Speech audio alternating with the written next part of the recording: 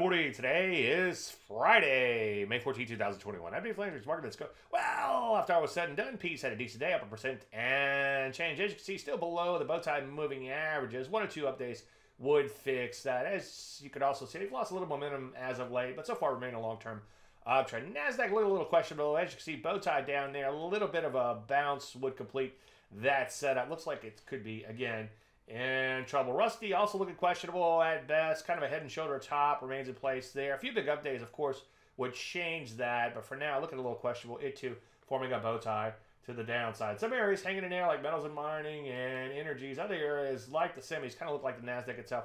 Not looking so hot in here. Another one of those areas would be biotech recently breaking down to brand new lows. So what do we do? Well, of course, pick your spots carefully in light of this mixed action. And as usual, wait for entries and honor your stops. Right now, the best action might be no new action while the market finds its way.